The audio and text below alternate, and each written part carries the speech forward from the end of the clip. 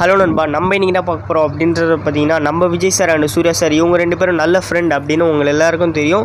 இவங்க ரெண்டு பேரும் பார்த்தீங்கன்னா ஒன்றாவே ரெண்டு படத்தில் நடிச்சிருக்காங்க. ஆயிரத்தி தொள்ளாயிரத்தி தொண்ணூற்றி ஏழில் பார்த்தீங்கன்னா நேருக்கு நேர் என்ற திரைப்படத்தில் பார்த்தீங்கன்னா ஒன்றாவே நடிச்சிருந்தாங்க. ஸோ அதுக்கப்புறம் பார்த்தீங்கன்னா ரெண்டாயிரத்தி ஒன்றாம் ஆண்டு வெளியான ஃப்ரெண்ட்ஸ் திரைப்படத்திலும் பார்த்தீங்கன்னா நம்ம Vijay sir and Suriya sir இவங்க ரெண்டு பேரும் பார்த்தீங்கன்னா ஒன்றாவே நடிச்சிருந்தாங்க. ஸோ இந்த ரெண்டு திரைப்படத்துக்கு அப்புறம் பார்த்தீங்கன்னா நம்ம Vijay sir and Suriya sir இவங்க ரெண்டு பேரும் ஒன்றா நடிக்கலை அப்படின்றது தான் உண்மை. ஸோ அதுக்கப்புறம் பார்த்தீங்கன்னா ஒரே நாளில் இவங்க ரெண்டு ப- படத்தையும் பார்த்தீங்கன்னா ரிலீஸ் பண்ணி மோத ஆரம்பித்தாங்க ஸோ அதுக்கப்புறம் தான் பார்த்தீங்கன்னா ஒரு மிகப்பெரிய ஒரு போட்டி ஆரம்பிச்சிச்சு. விஜய் அண்ட் சூர்யா இவங்க ரெண்டு பேர் படங்களும் ஒரே நாளில் ரிலீஸ் ஆகி மோதிக்கொண்ட திரைப்படங்களோட லிஸ்ட்டை தான் இந்த வீடியோவில் பார்க்க போகிறோம் அதில் யார் அதிக வெற்றி கிடச்சிருக்கு அப்படின்றதும் இந்த வீடியோவில் பார்க்க போகிறோம். ரெண்டாயிரத்தி ஒன்று நவம்பர் ஃபோர்டீன் தீபாவளி அன்னைக்கு பார்த்தீங்கன்னா நம்ம விஜய் சாரோட ஷாஜஹான் என்ற திரைப்படம் வெளியானது. ஸோ அதே டேட்டில் பார்த்தீங்கன்னா நம்ம சூர்யானோட நந்தா திரைப்படமும் வெளியானது. ஸோ நந்தா திரைப்படத்தை பார்த்தீங்கன்னா பாலா தான் டேரக்ஷன் பண்ணியிருந்தார். நம்ம சூர்யானாங்க பார்த்தீங்கன்னா ஒரு கேரியர் பெஸ்ட் மூவி அப்படின்னே சொல்லலாம் இந்த நந்தா மூவி ஸோ இந்த ரெண்டு திரைப்படமும் பார்த்தீங்கன்னா அவங்களும் நல்லாவே ஓடிக்கொண்டு இருந்துச்சு அதாவது விஜய் சாருக்கு ஷாஜஹான் நல்லா ஓடிக்கொண்டு இருந்துச்சு ஸோ அதுக்கப்புறம் பார்த்தீங்கன்னா நம்ம சூர்யாண்டாக்கு நந்தா என்ற திரைப்படமும் நல்லாவே ஓடிக்கொண்டு இருந்துச்சு ஸோ இந்த ரெண்டு பட திரைப்படமும் பார்த்தீங்கன்னா எந்த குறையும் சொல்ல முடியாது. அவங்கவுங்க கெரியருக்கு அவங்கவுங்க பெஸ்ட் மூவியாக தான் அமைஞ்சிச்சு. முக்கியமாக பார்த்தீங்கன்னா நம்ம சூர்யாண்ணா கெரியருக்கு பார்த்தீங்கன்னா நந்தா என்ற திரைப்படம் ஒரு முக்கியமான மூவியாகவும் அமைஞ்சிச்சு. ஸோ இது ரிசல்ட் அப்படின்ட்டு எதுவுமே சொல்ல முடியாது. ஸோ அதுக்கப்புறம் பார்த்தீங்கன்னா ரெண்டாயிரத்தி ரெண்டாம் ஆண்டு ஜூலை பத்தொம்போது அன்னைக்கு பார்த்தீங்கன்னா நம்ம விஜய் சாரோட யூத் என்ற திரைப்படம் வெளியானது. அதே டேட்டில் பார்த்தீங்கன்னா நம்ம சூர்யானாக்கு ஸ்ரீ என்ற திரைப்படம் வெளியானது. ஸோ ஸ்ரீ படம் பார்த்தீங்கன்னா நம்ம சூர்யானா கெரியருக்கு ஒரு ஃப்ளாப்பான மூவியாக தான் அமைஞ்சிச்சு. பட் விஜய் சாருக்கு பார்த்தீங்கன்னா யூத் என்ற திரைப்படம் பார்த்தீங்கன்னா ஒரு நல்ல மூவியாக அமைஞ்சிச்சு. அதாவது ஆவரேஜான மூவியாக தான் அமைஞ்சிச்சு.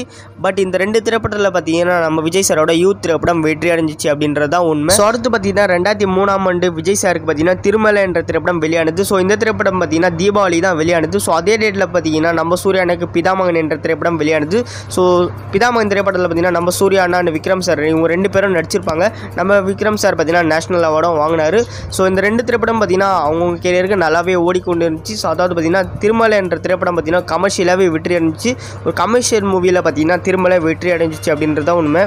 ஸோ கண்டென்ட் வைஸில் பார்த்தீங்கன்னா நம்ம பிதாமகன் வெற்றி அடைஞ்சிச்சு அப்படின்றது தான் உண்மை. ஸோ இந்த ரெண்டு திரைப்படத்துக்கும் பார்த்தீங்கன்னா எந்த குறையும் சொல்ல முடியாது. அவங்கவுங்க கேரியருக்கு அவங்கவுங்க பெஸ்ட் மூவி அப்படின்றது தான் உண்மை. ஸோ இதில் எந்த ரிசல்ட்டும் சொல்ல முடியாது. ஸோ அடுத்த நாலு வருஷமாக பார்த்தீங்கன்னா இவங்க ரெண்டு பேர் திரைப்படமும் ஒன்றாவே ஒரே டேட்டில் ரிலீஸ் ஆகலை. ஸோ அதுக்கப்புறம் பார்த்தீங்கன்னா நாலு வருஷத்துக்கு இடைவெளிக்கு அப்புறம் தான் பார்த்தீங்கன்னா இவங்க திரைப்படம் மறுபடியும் மோதிக்கொள்ள ஆரம்பிச்சிச்சு. ஸோ ரெண்டாயிரத்தி ஏழாம் ஆண்டு பார்த்தீங்கன்னா நவம்பர் எட்டுக்கு பார்த்தீங்கன்னா நம்ம விஜய் சாரோட அழகிய தமிழ் மகன் என்ற திரைப்படம் வெளியானது. ஸோ அதே டேட்டில் பார்த்தீங்கன்னா நம்ம சூர்யானோட வேல் என்ற திரைப்படம் வெளியானது. இந்த ரெண்டு திரைப்படத்தை பார்த்தீங்கன்னா பயங்கர எதிர்பார்ப்பு இருந்துச்சு அழகிய தமிழ் மகனில் பார்த்தீங்கன்னா நம்ம விஜய் சார் டியூவல் ரோல் நடிச்சிருந்தாரு. ஸோ அதே மாதிரி பார்த்தீங்கன்னா நம்ம சூர்யானா வேல் படத்துலையும் பார்த்தீங்கன்னா டுவல் ரோல் நடிச்சிருந்தார்.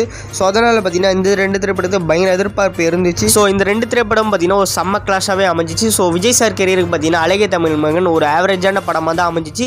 இந்த திரைப்படத்தை பார்த்தீங்கன்னா மிக்சட் ரிவ்யூஸ் அதிகமாக கிடைச்சதால பார்த்தீங்கன்னா பாக்ஸ் ஆஃபீஸ் செலெக்ஷனில் அவ்வளோ பெர்ஃபார்ம் பண்ணலை. ஸோ அதனால் பார்த்தீங்கன்னா அழகிய தமிழ் மகன் நம்ம விஜய் சார் கெரியருக்கு ஒரு ஆவரேஜான படமாக தான் அமைஞ்சிச்சு. ஸோ அதே பார்த்தீங்கன்னா நம்ம சூர்யானுக்கு வேல் என்ற திரைப்படம் பார்த்தீங்கன்னா ஒரு நல்ல கலெக்ஷனும் கொடுத்துச்சு. ஸோ இந்த திரைப்படத்தை பார்த்தீங்கன்னா பாசிட்டிவ் ரிவ்யூஸ் அதிகமாக கிடைச்சதால நம்ம சூர்யானுக்கு ஒரு பிளாக் பஸ்டர் மூவியாக இந்த வேல் திரைப்படம் அமைஞ்சிச்சு. ஸோ அதனால் பார்த்தீங்கன்னா இந்த ரெண்டு திரைப்படத்தில் பார்த்தீங்கன்னா வேல் என்ற திரைப்படம் தான் வெற்றி அடைஞ்சிச்சு அப்படின்றத உண்மை. ஸோ அதுக்கப்புறம் பார்த்தீங்கன்னா மூணு வருஷமாக இவங்க ரெண்டு பேர் திரைப்படங்கள் ஒன்றாவே மோதிக்கொள்ளலை ஸோ அதுக்கப்புறம் மூணு வருஷத்துக்கு அப்புறம் பார்த்தீங்கன்னா ரெண்டாயிரத்தி பதினொன்றாம் ஆண்டு தீபாவளி பார்த்தீங்கன்னா நம்ம விஜய் சாரோட வேலாயுதம் என்ற திரைப்படம் வெளியானது. ஸோ அதே டேட்டில் பார்த்தீங்கன்னா நம்ம சூர்யா அண்ணாவோட பயங்கர எதிர்பார்ப்போட வெளியான திரைப்படம் தான் ஏழாம் அறிவு திரைப்படம்.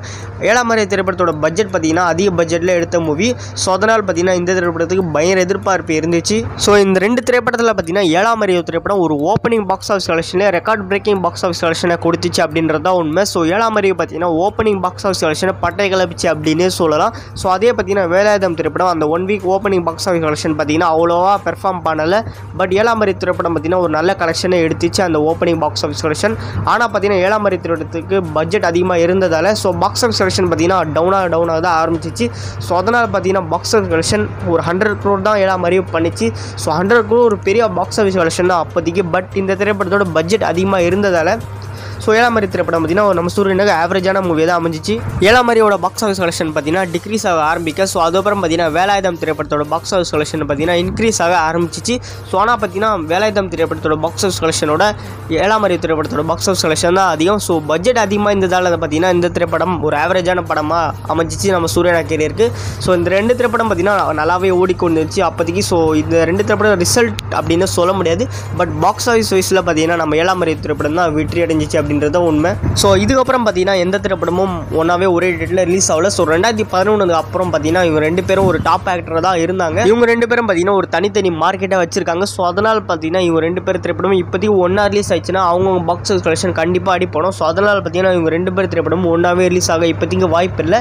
ஸோ ஃபியூச்சரில் ரிலீஸ் ஆக வாய்ப்புகள் அதிகமாகவே இருக்குது ஸோ வெயிட் பண்ணி பார்க்கலாம். ஸோ ஓகே அவ்வளோதான் நண்பா. இன்னைக்கான வீடியோ இந்த விஜய் அண்ட் சூர்யா கிளாஷை பற்றி உங்களோட கருத்தை கமெண்ட் பாக்ஸில் பற்றி பண்ணுங்கள் விஜய் அண்ட் சூர்யா இந்த ரெண்டு பேரில் உங்களோட ஃபேவரட் ஆக்டரை கமெண்ட் பாக்ஸில் பற்றி பண்ணுங்க. இந்த வீடியோ உங்களுக்கு யூஸ்ஃபுல்லாக இருந்துச்சுன்னா லைக் பண்ணிட்டு இதே மாதிரி தமிழ் சினிமா அப்படி தெரிஞ்சுக்க நம்ம சேனலை சப்ஸ்கிரைப் பண்ணி சப்போர்ட் பண்ணுங்கள்